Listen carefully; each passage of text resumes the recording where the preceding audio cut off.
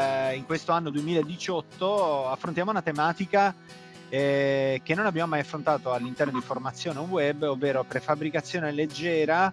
Eh, nel sistema costruttivo tradizionale noi abbiamo affrontato la tematica della prefabbricazione. Una però... delle ultime prove sperimentali che abbiamo fatto presso l'Università della, degli Studi della Basilicata è una prova che è servita a eh, testare il comportamento sismico il vantaggio primario appunto è quello della, dell'autoportanza e della eliminazione della casseratura.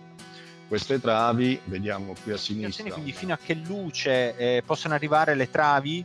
Eh... Sì, in realtà non, non, abbiamo limiti e non ci poniamo limite, uh-huh. eh, limiti.